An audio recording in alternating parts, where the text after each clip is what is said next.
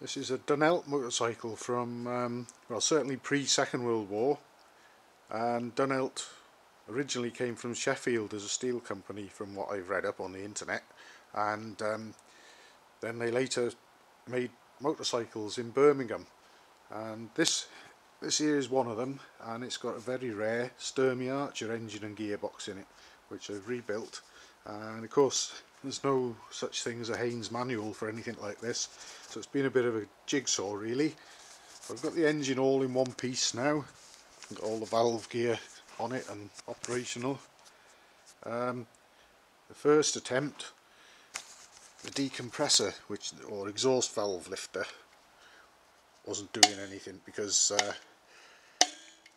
the exhaust rocker that I had on it was very worn there and uh, it wasn't sort of reaching down to the top of the valve stem far enough for this little mechanism to put any weight on it.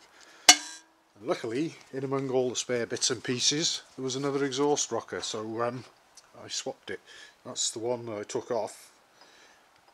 I might just be able to see that one in there. Uh, let's see if I get some light on.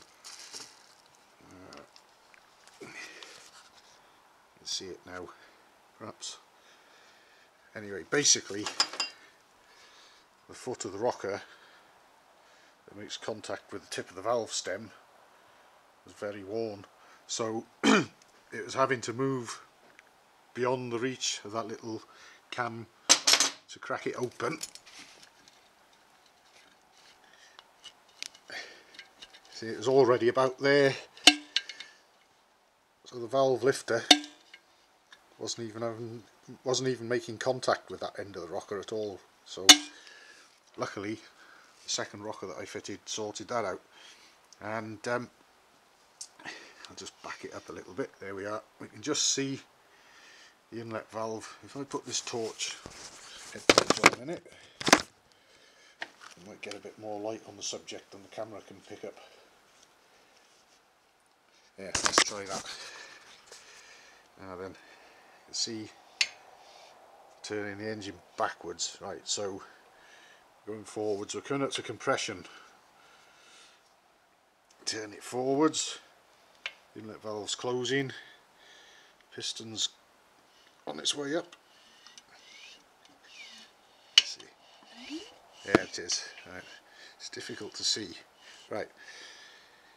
Hopefully camera might pick that out but the piston is at or around top dead center now. So that'll be compression. Turn it forwards a little bit more. Piston's going down it's fired. There are the exhaust valve's opening now nicely. Yeah, now it's closing. The piston's coming up to the other top dead center where the valves should be overlapping. Exhaust valve is nearly shut. They are the inlet's just starting to open that's what we want. I'm past top dead centre now it'll be sucking the charge in. Inlet valves closing again now for compression. There's the piston back at top dead centre. So like I say all the internals are in place in that engine now and mechanically it's ready to go um, it was quite a fiddle putting this lot on but it's there now anyway. So really all it needs now is a magneto and a carburetor.